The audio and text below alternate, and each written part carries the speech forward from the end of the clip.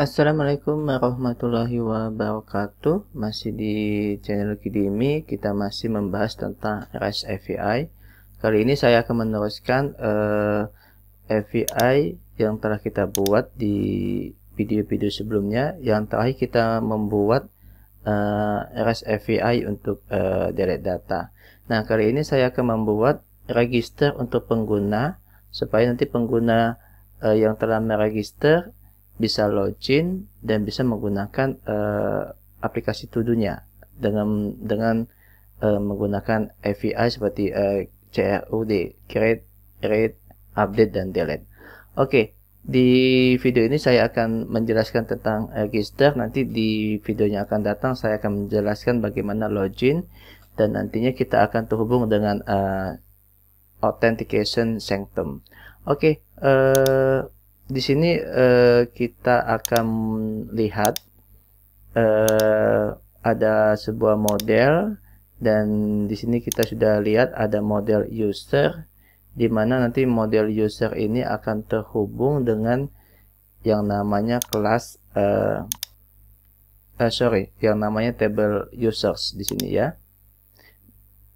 Nah table user ini uh, kita buat waktu kita menjalankan PHP migrate ya di mana nanti di semua migration ini nanti dijalankan semua ya yaitu create user create password reset nanti reset ya create fail jobs table create personal access token ya create to do table nah itu semua nanti uh, kita buat begitu kita menjalankan PHP artisan migrate ya.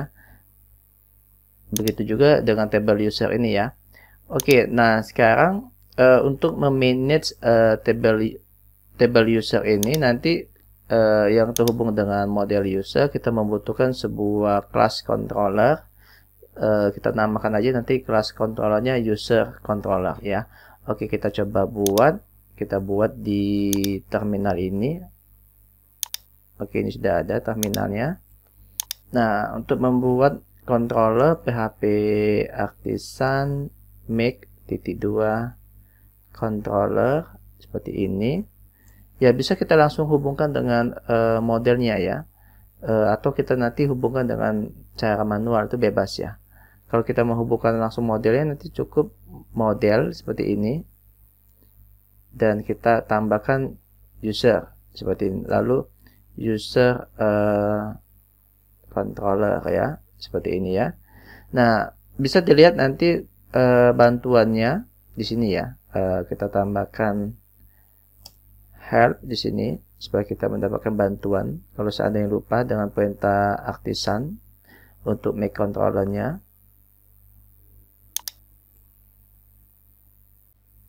Nah, di sini seperti yang saya bilang tadi ada minus-minus model lalu nama modelnya apa.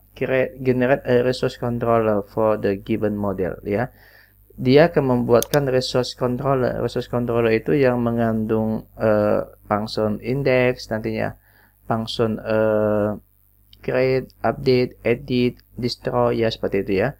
Jadi bisa juga nanti manual. Kalau kita mau manual ya cukup seperti ini ya. Uh, maksudnya manual itu tidak ada resource controllernya ya. Nanti untuk function index dan sebagainya itu kita tambahkan manual ya. Oke, okay.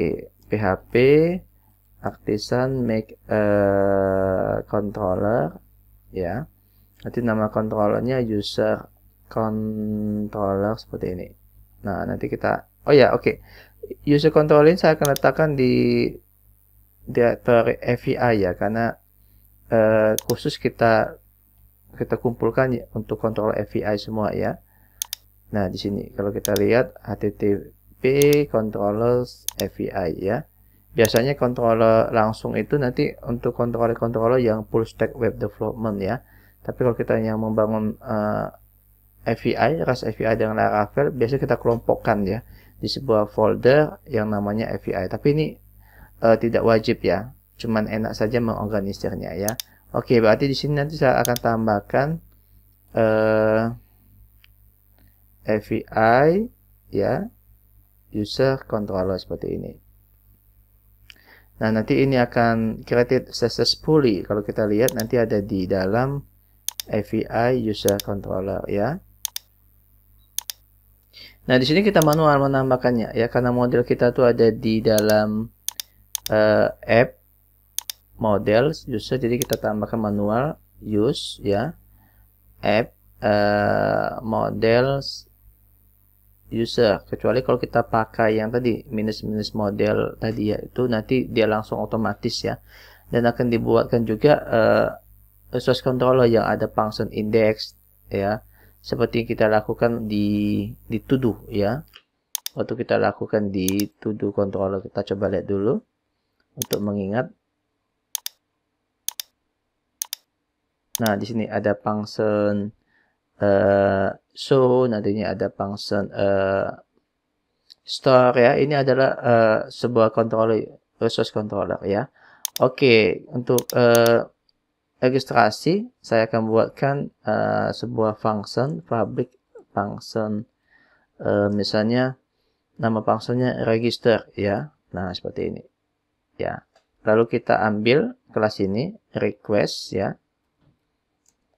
Kita letakkan di variable request, seperti ini. Oke. Nah, kita coba atur dulu di rootnya. Kalau untuk API di sini ya, API kalau untuk full stack web development nanti di web.php ya. Kita buat REST API berarti di api.php ya. Oke, uh, ini bukan API resource ya. Jadi uh, root kita buat seperti ini.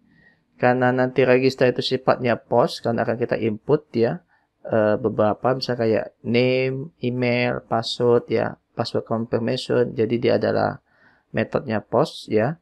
Nah, misalnya uh, eh, URL-nya kita ingin uh, misalnya seperti ini ya.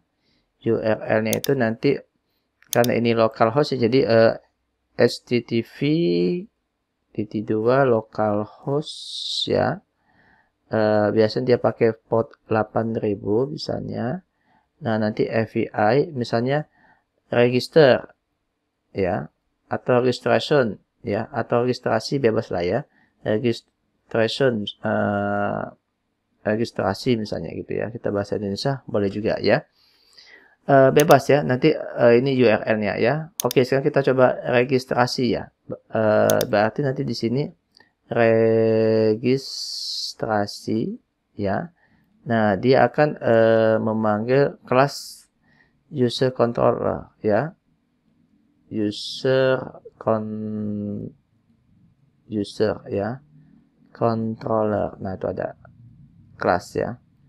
Dan pada metode uh, register tadi. Nah, ini ya, pada metode uh, register. Tapi uh, jangan lupa untuk menambahkan kelas user controller ini ya. Kalau tidak nanti tidak dikenal. Menambahkannya di sini ya.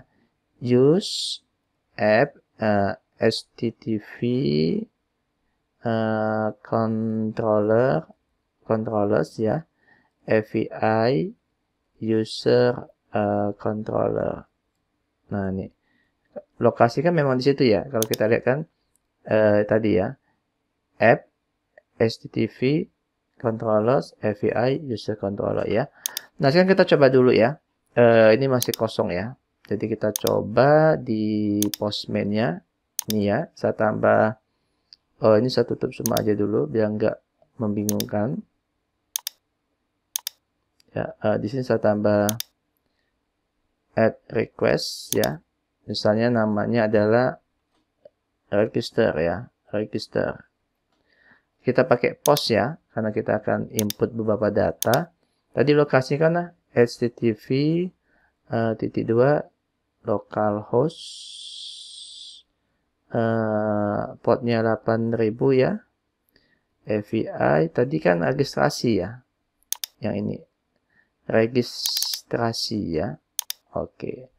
Registrasi. Enter. Oke, ini ada kita coba lihat ya. Oke, uh, jangan lupa eh, teman-teman uh, tuh jalankan PHP Artisan Sub-nya ya. Jangan lupa ya. Uh, di sini saya jalankan PHP Artisan Sub. Nah, seperti ini. Kalau tidak nanti kasusnya seperti saya ya. Oke, kita coba lagi ya.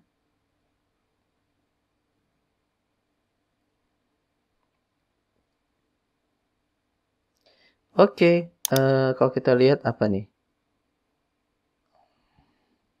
User controller does not x uh, nggak ada katanya ya.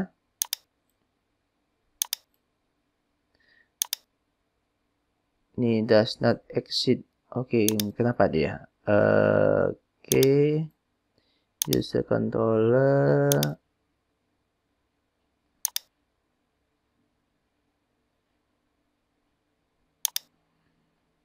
Oh ini saya salah tulis controllernya ya. Uh, controllers. Nah seperti ini ya. Kita coba lagi ya. Oke, ini 200 oke ya. Statusnya berarti nggak jadi masalah. Tetapi masih kosong ya. Kenapa? Karena kan belum ada belum ada apa-apa di dalam register ini ya.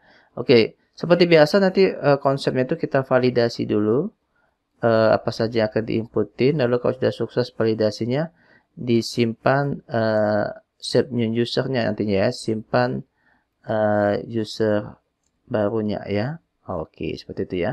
Jadi yang divalidasi apa saja? Kalau kita lihat di table users ini yang tidak boleh kosong itu kalau kita lihat di structure-nya ya.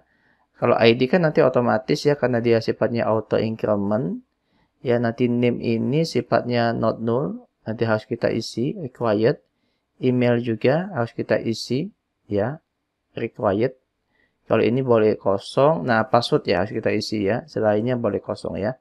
Oke jadi eh, validasinya nanti kita buat sebuah kelas di sini kita include. Itu ada di illuminate ya. Oke kita coba kelompokkan aja di sini. Ya use uh, illuminate tapi dia di support ya. Paste this ya. Passage ya. Passage uh, validator. Nah itu ya. Oke okay, uh, kita buat sebuah variabel untuk nampung ya. Validator. Ya ini nama kelasnya tadi. Yang kita sudah include. Validator titik dua titik dua make ya. Uh, kita akan ambil semua inputan dari pom berarti kita gunakan request ya. Uh, user request ya kita ambil semua all seperti ini. Oke di sini kita lakukan validasi ya. Nah seperti ini. Uh, oke. Apa saja tadi uh, name ya ini berdasarkan inputan di postman ya nanti ya. Uh, oke kita tidak boleh kosong required seperti ini. Ya oke. Okay. kalau name ini panjangnya 255 ya jadi cukup panjang ya. Boleh dibatasin maksimum tapi kayaknya cukup panjang ya. Nggak usah kita batasi nggak apa-apa. Kalau mau dibatasi nanti silakan misalnya seperti ini. Uh, selain required ya uh, maksimumnya maxnya itu 255 seperti itu ya. Lalu uh, email tadi ya yang tidak boleh kosong tadi uh, required. Nah nanti email itu kan ada pola tertentu untuk nginputinnya ya. Kalau kita nginputin D 3 Octavian saja itu nggak bisa. Ya tetapi harus lengkap. Formatnya kan ada at gmail gitu kan .com misalnya gitu kan. Oke jadi selain dia tidak boleh kosong kita validasi juga formatnya yaitu cukup email aja gini ya dan dia juga unik kan? Tidak boleh ada yang sama atau tidak boleh uh, email yang sama itu mendaftar dua kali. Ya unik. Ya di tabel di tabel apa uniknya? Di tabel uh, users ya. Oke okay. jadi di tabel users seperti ini ya. Dan boleh dibatasi juga ya. Misalnya maksimum uh, sesuai di sini ya. Uh, 255 jadi 255 dan password juga ya uh, password. Dia juga nggak boleh kosong. Required ya. Dan dia uh, panjangnya berapa ya? Panjangnya 255 ya. Bisa juga dibatasi boleh ya. Monggo ya. 255 dan dia ditambahkan confirm. Dia kan harus divalidasi diulang ya biasanya kan. Dua kali ya. Kalau seandainya tidak sama nanti confirm ini akan berjalan ya. Oke. Uh, sepertinya sudah. Dan ini boleh diterjemahkan ke dalam bahasa Indonesia, ya, uh, pesannya nanti misalnya seperti ini, uh, name uh, required, ya, secara default dia bahasa Inggris, tapi boleh kita konversi ke dalam bahasa Indonesia supaya user interface-nya lebih familiar dengan orang Indonesia ya. Nama harus diisi misalnya gitu ya. Uh, name max ya. Uh, karakter panjang karakter ya panjang uh, karakter nama maksimum misalnya maksimum 255 gitu ya oke. Email. Email titik required. Jadi eh, email harus diisi. Oke. Lalu email titik email. Nah ini formatnya. Uh, format email tidak uh, valid misalnya. Uh, lalu unique ya. Unique uh, unique email sudah terdaftar misalnya. Ini oke. Email max ya uh, panjang oke.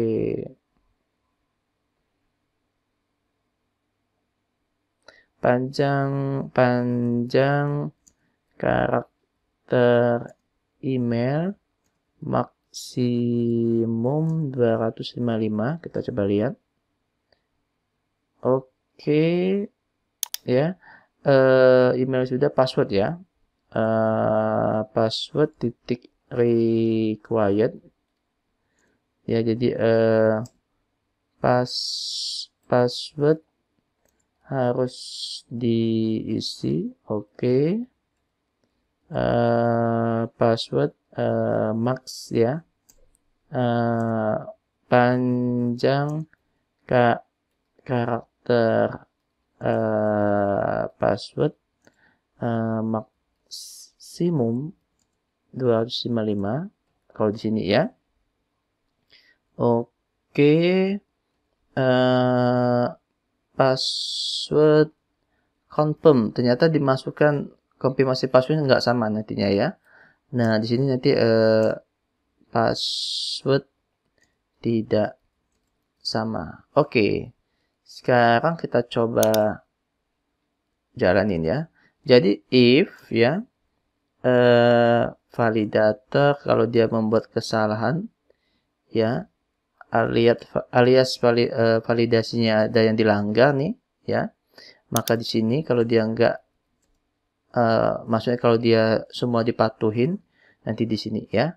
Uh, ini jika oke okay ya jika oke okay. nanti disimpan. Berarti simpan usernya di sini nih. Simpan usernya di sini nanti ya. Nah ini oke. Jadi kalau dia salah nanti uh, kita kirim API-nya ya response ya. Kita respon dengan kirim API uh, formatnya kita kemarin kita patuhin ya ada status ada message-nya ya. Uh, status jadi false ya. Atau boleh nol dibuat ya. Uh, message uh, misalnya kita kirimkan validator errornya kenapa ya. Eros. Nah tuh ya. Kita coba. Oke ini oh nih jangan lupa semikolon ya. Oke kalau dia ada masalah kita kasih misalnya 400 ya kodenya. Bad request ya. Oke kita coba ya. Uh, body. Di sini kita coba name ya. Kita coba uh, email ya kita coba password. Nah, gitu ya. Kita coba kirim. Nah, ini nama harus diisi ya. Kalau saya isi namanya D3 Octavian misalnya. Nah, email harus diisi ya. Nama sudah oke okay ya. Jadi saya isi D3 Octavian misalnya email ya. Nah, format email tidak valid ya. Harus sesuai ya. Misalnya ada add email. Kalau add saja juga nggak valid nih. Nah nih, pas format email tidak valid, jadi harus lengkap ya. At gmail.com misalnya. Nah, tinggal password ya. Uh, 1, 2, 3, 4, 5, 6 misalnya. Nah, password tidak sama. Kan biasanya kan password dikonfirmasi dua kali ya. Di sini kita ada sebuah inputan lagi dan harus namanya itu password confirmation ya. Nah, jadi kalau kita masukkan di sini 1 2 3 nanti tidak sama, password tidak sama, dia harus sama ya. 4 5 6 diulang dua kali ya. Oke, semuanya oke ya. Berarti tinggal kita jalankan yang di sini ya. E, jika oke, kita satukan aja ini ya simpan user baru. Oke, namanya tadi, nama modelnya adalah user ya. Kita buat user misalnya. New user. Oke. Ya, eh, nah ini harus sama yang yang ini setelah user ini harus sama eh, nama kolomnya di table ya. Yaitu name, email, password ya. Jadi ini eh, name nantinya ya uh, ini user email nantinya ya ini user uh, password dan di dan setelah ini setelah request ini harus sama tulisannya di postman atau di form inputan HTML-nya ya. Di nama uh, di nama form inputan HTML biasanya kan nanti ada form yang kita buat pakai HTML kan ada namanya ya. Nah itu harus sama dengan nama dengan requestnya ya namanya ya. Jadi request misalnya kita samakan aja name ini ya uh, lalu request uh, email ya oke okay, uh, eh, request uh, password ya nah biasanya password itu dienkripsi ya biasanya password nanti kita enkripsi oh ini sama dengannya lupa ya kita enkripsi. Nah, nanti kalau di Laravel kita bisa pakai kelas uh, ini ya, hash ya. Uh, use uh, untuk mengenkripsinya ya. Kalau di PHP kan biasanya kita gunakan MD5 ya. Oke, okay. illuminate uh, support uh, paste this uh, passage ya. Passage passades ya, passage ya. Uh, hash oke. Okay passages. Oke. Okay. Uh, di sini has titik dua make ya. Oke. Okay. Nah, sekarang kita save ya. Uh, sini aja nih. User uh, save ya. Oke, okay, kalau dia sukses kita simpan uh, kita kirimkan respons yang menandakan dia sukses ya. Oke, uh, statusnya true ya kalau tadi false dan uh, message-nya uh, misalnya pengguna baru berhasil ditambah. Ini bebas ya maksudnya ya. Dan biasanya kodenya 201 untuk sukses kredit ya. Oke, sekarang kita coba. Nah, ini ya, kita coba send. Nah, pengguna baru berhasil di, ditambah. Kita coba lihat ya. Di browse. Oke, ini ada ya.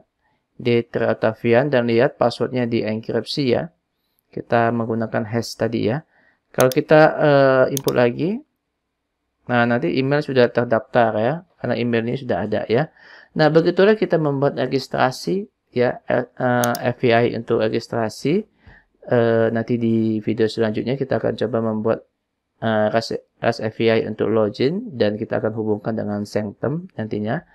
Oke, terima kasih uh, atas perhatiannya. Assalamualaikum warahmatullahi wabarakatuh.